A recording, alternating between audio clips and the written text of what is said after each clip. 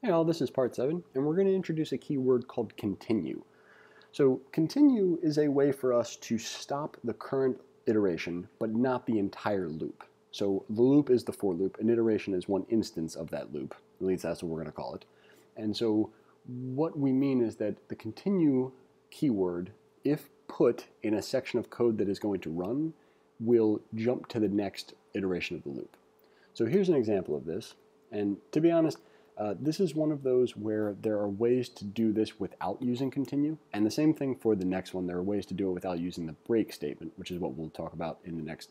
Um, is it a continue statement or a keyword? I think it's I think it's statement. I usually call it keyword, but I looked it up on MDN, and it turns out that it's a statement. So there you go.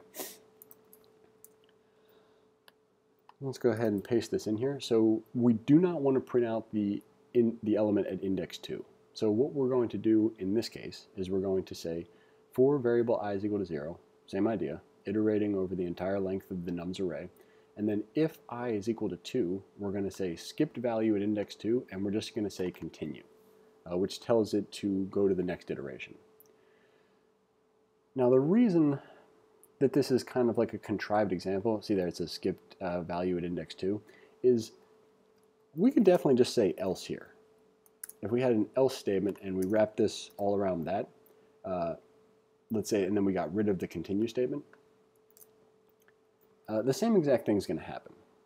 So this again is less about showing you the only way that you can do this, and it's much more about showing you uh, what a continue statement is, because you might see them in play, or you might come up with a reason why you'd want to use one, and this is what it is, and that's how it works.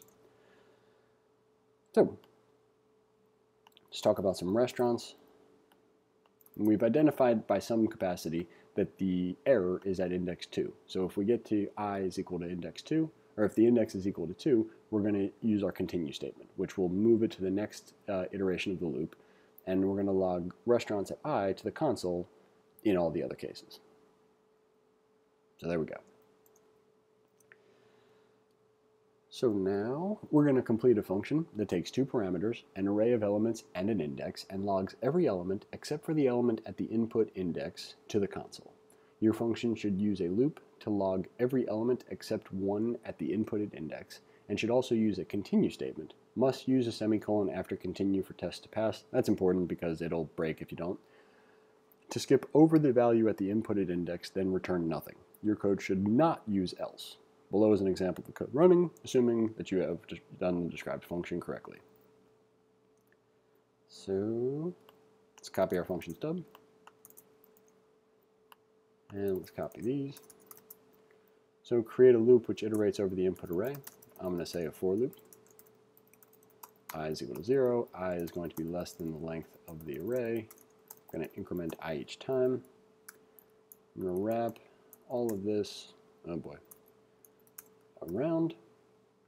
So if the current index, so current index is going to be i, is equal to the input index, index, then I want to use the describe statement to skip to the next one. And the reason I say that is because the way the tests work is it actually is going to parse through your function and see if it finds um, literally the words continue semicolon.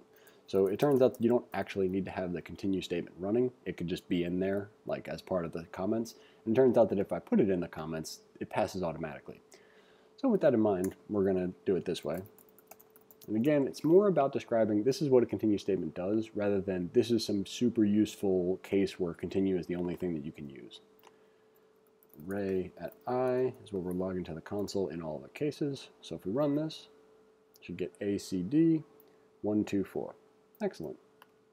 So let's take this function back to the input window, find out what kind of shape we are in, and the shape we are in is good. Excellent work. Thanks for watching. Hope you enjoyed it, and we'll see you in the next one.